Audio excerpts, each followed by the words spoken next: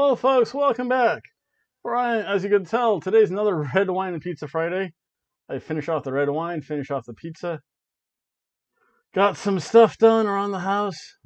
Always good. Um, even though it looks like plain lemon lime soda. God, there's a little bit of that apple cider vinegar in it.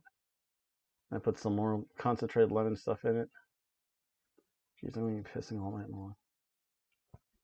Okay. It's healthy for you, and for the most part, I can it. Well, maybe not this one. It's slightly less healthy, but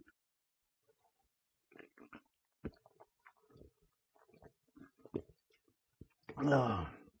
after delicious pizza, it's a little bit more palpable. But not enough about that. Let's talk about some SmackDown because that's what I'm here to do. Uh, yesterday we saw El Vagabundo, that that that Hijo del Hobo, the son of the hobo. El Vagabundo showed up. He left me this list, this wrestling list of stuff. That goes there, and we'll see how good of a predictor he is.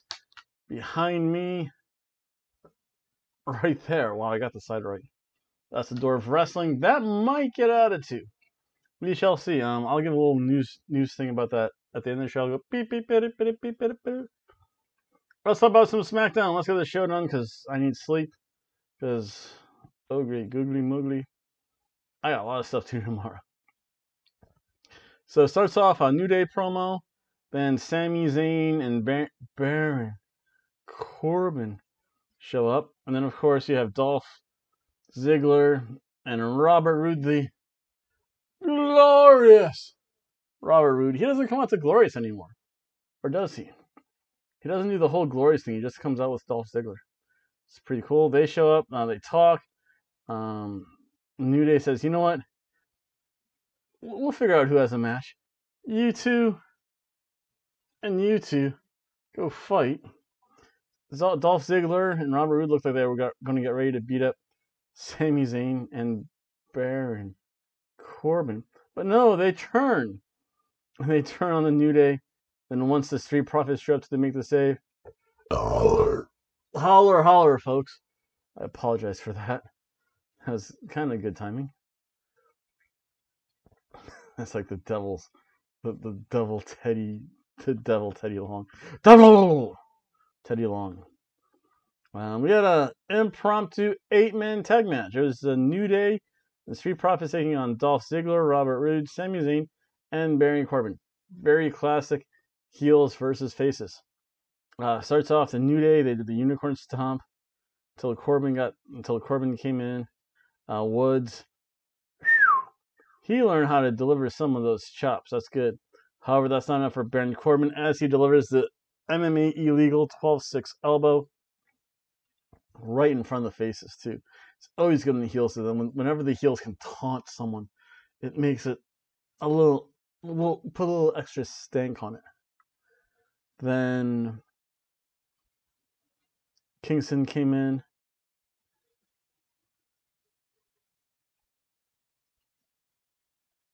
Next, the Dolph. Uh, then we went to break. Oh yeah, Kingston went face first into the table, and then rammed right into the steps.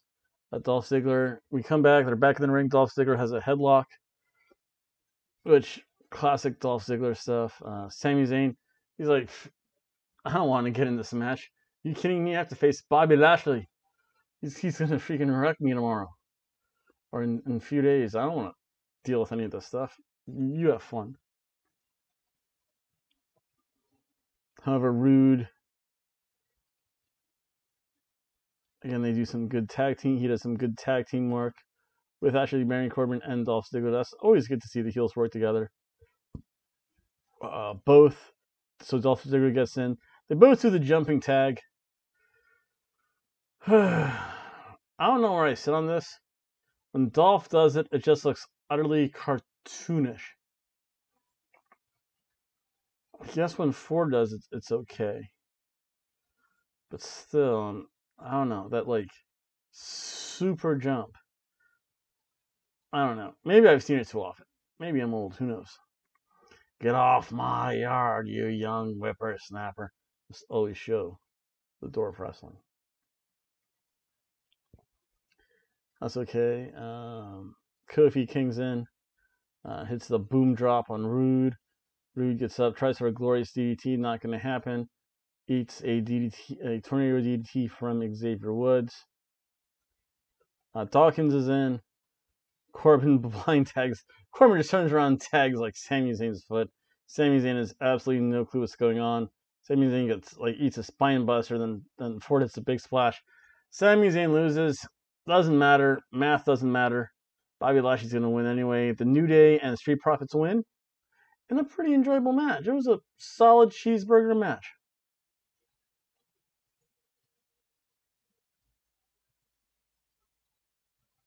Then we have a Daniel Bryan interview. Uh, he's the only responsible wrestler. He's wearing his mask and he's like, Baron, social distancing. That is that is very slowly making a comeback. Walmart is going back to having a greeter at the door either give you a mask or tell you to get out. Um, some places not so much. 7-Eleven is always like meh. Uh, liquor store, classy places you have to. I don't know. We'll see what's going on. Again, I'll get into that a little bit later.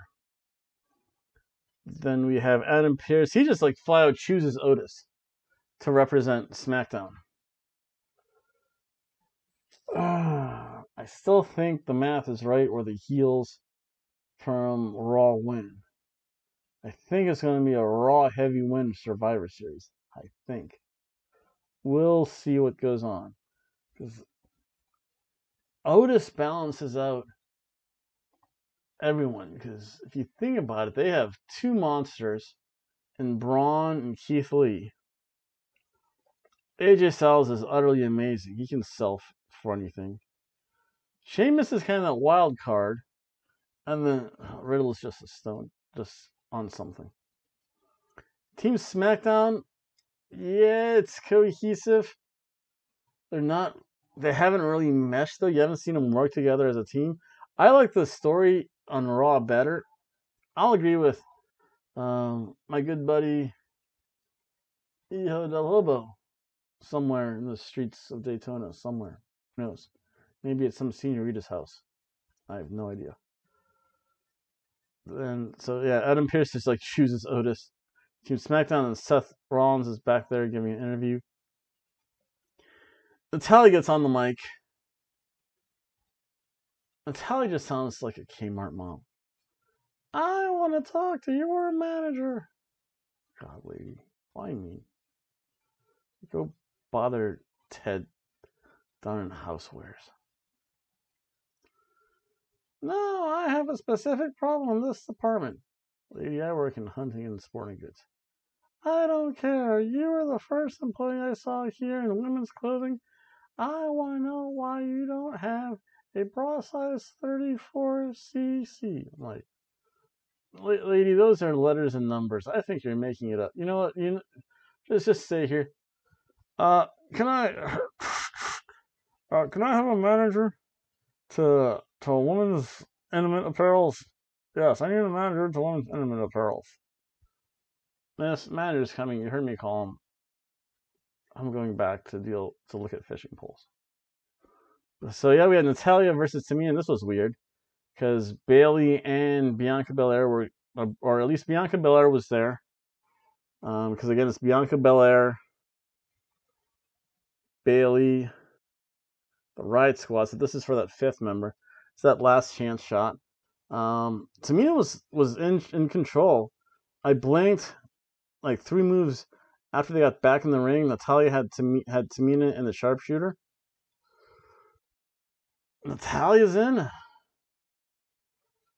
Jeez. I'm so glad I'm to miss that opening match. That's, again, somehow Lana's to figure prominently in it. Either Lana's the first one out, Lana costs her team, or Lana wins it all. So doing the Steiner math, there's a 66 and a third chance percent that Raw wins. However, there's only a 33 and a third percent chance the SmackDown wins. You know what? You throw in a you throw in a Walmart mom like Natalya, who's going to be eliminated first, then all of a sudden you lose a quarter of 33 and a third percent. I need a calculator. Wait a second. What is the quarter of a 33 and a third? 33.3 times 0.25.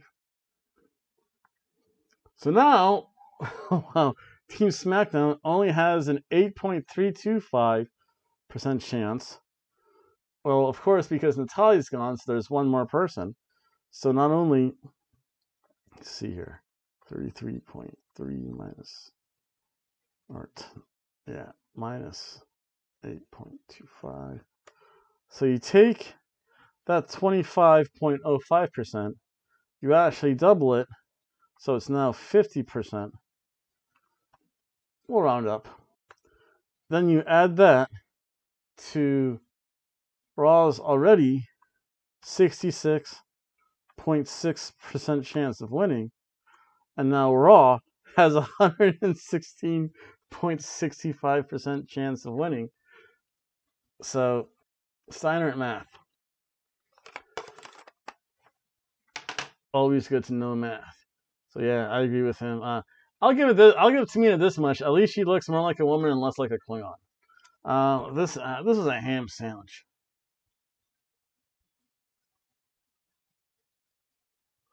Then they give the next two matches, like for the most part, the next couple segments the whole thing, and that was really good.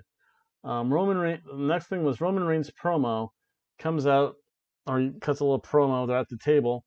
Um, Drew cuts a little promo. They go to the traditional signing. Um, Roman sits at the head of the table, where kind of Michael Cole supposedly sits as a moderator. Not going to happen. Paul Heyman standing right behind him. Uh, Drew signs at first. They talk a little bit. Roman Reigns signs next. It's like, that was cool. You, you, you actually came up. You came up to the table. I like that. You're still gonna lose, but I like that in you. So that's pretty cool. Maybe Drew will be the Raw Heyman guy. Interesting. Maybe Sheamus has something to do with it, and Drew's like, screw this. Who knows? Um, again, we had so with that, no one went through the table though, which I actually liked because you're always like, oh, there's another contract signing, another table spot. No, not this time. They kind of left very respectfully. That was good. Cheers to both men.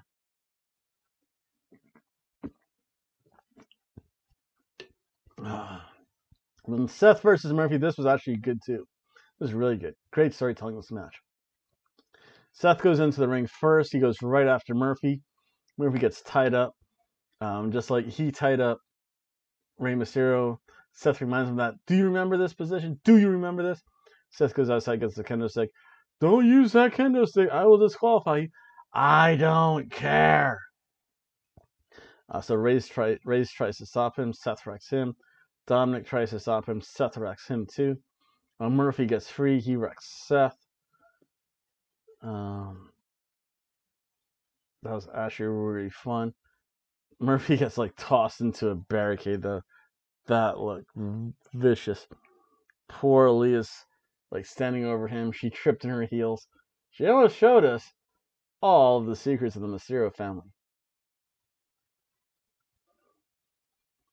That was kind of funny. She was wearing like a little white dress with like thigh high fuck me boots. Thigh high f me boots. Yeah, that's the better way to say it. Then Murphy, uh, no Chichinando kick for him. Seth counters out with a big boot. Seth then hit a superplex with Falcon Arrow, but no, that was only two. Sweet. For Murphy. Then Murphy ate a buckle bomb. Then he went back and forth, no stop for Seth. He ate one of Murphy's big, amazing looking knees without the fly slap. Good stuff, Murphy. Murphy does stuff that looks so smooth and natural but yet it doesn't look phony though. It, it's hard to explain. Sometimes when wrestlers do the knee, like like literally see the hand go from here, and you see it slap on the thigh. It's like, oh, that was a thigh slapping knee. Murphy doesn't do that. He does moves and and he has tactics that work in a wrestling ring, but it's not choreographed or rehearsed feeling. That's really good to see. Murphy has um, is an amazing talent. Um, Blake and Murphy, they were so good in NXT as heels with Alexa Bliss. I guess they just had to go their own ways. Blake is forgotten. Yeah, he's just forgotten. I was gonna say he, he was with the Forgotten Sons, but he, he's just forgotten. Uh, Seth tried another stomp. Murphy dodged that, hit his second knee. Then he had a Murphy's Law. Murphy wins. Yes, yes. Bye, Seth. Go go be with Becky. Yes, comfort Becky. Give her foot rubs. And yeah, stuff like that. Um, so again, that was a really good match, though. Murphy won. Surf and turf match.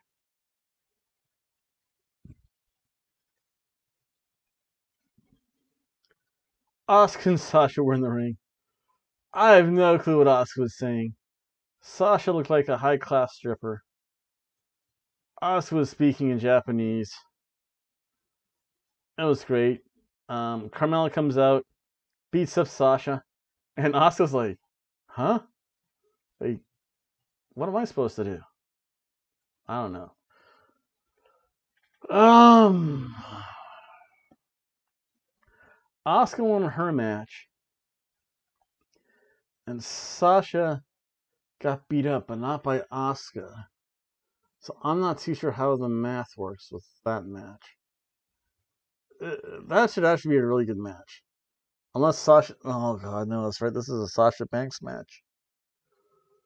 It's a 50 50 match, but knowing that there's a 10% chance that Sasha will do something bad to her back, it now becomes a 60 40 match. There's another 10% chance that Sasha's going to do something to her head, so now it becomes a 70 30 match. And just because Sasha Banks might screw something up, that already doubles Asuka's chances of winning. So it goes from 70% to 140%. And then just because of that, you take away 20% from Sasha. So Sasha has a 10% chance of winning. Asuka has a 144% chance of winning. Steiner math. Then we have the final match. This is also really good too. Daniel Bryan versus Jey Uso in kind of a rematch. Starts off, Daniel Bryan goes right for Jey Uso. This is American Dragon Bryan Danielson. This was good to see. This is what everyone in the WWE wanted to see since he showed up. Since he showed up, we didn't get him. Now we're getting him, and now we're liking it. Uh, starts off in the kind of classic match. Daniel Bryan gets Jey Uso into the bell lock, and then the cross faces and vicious, vicious cross faces by Daniel Bryan. Uh, goes to the knees, to the back of the head. Oh, again, so good American Dragon Bryan Danielson. Uh, Jey then gets a chance to beat up Daniel Bryan. Um, he got Daniel Bryan down. That looked absolutely vicious. And then he starts delivering knees to the kidneys and elbows to the kidneys. This just looked like a fight, fight, fight. This was good. This was an old timey fight match, baby. Then Jey again kicks Dan again a super kicks Daniel Bryan twice. That couldn't put him down though. Uh, Jey hit a great looking backbreaker that looked amazing. Jey had a superplex. He could not hit the big splash Daniel Bryan got the knees up. And then again, oh yeah, this was when yeah Daniel Bryan got had got the LeBell lock, reverse the knees, elbows to the kidneys. That was amazing. Daniel Bryan, and the the, the knees and the stomp and the stomps. Uh, Jey Uso got up. That was a double super kick. Daniel Bryan then again Jey Uso thought he had him after the double super kicks. Went up for the Big splash. Daniel Bryan got the knees up and the roll up. Daniel Bryan wins. Good match. Doesn't do much, but it was good, fun. Cheeseburger match.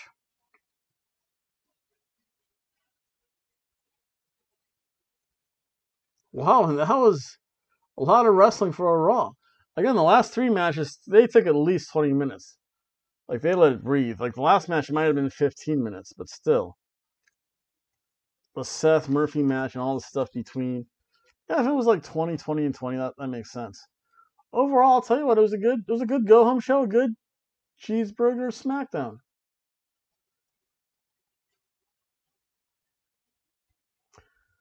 And that was it. So we have um, Hijo del Hobo El Vagabundo dos Doses predictions. Um, a little bit of the news. They're still advertising the NAWA coming here today, Tony Beach. I do plan to go to that. I have to speak to the boss tomorrow about that. See if I can work during the, during the day and not close that day. It'd be fun to put some live wrestling content on this video channel for a change. The best stuff ever. Um, with that, only I'm off tomorrow. uh, SmackDown um, Sunday. I'll be back. I'll be back a little bit late for SummerSlam. Very typical week, with the exception of maybe next Friday because of Thursday.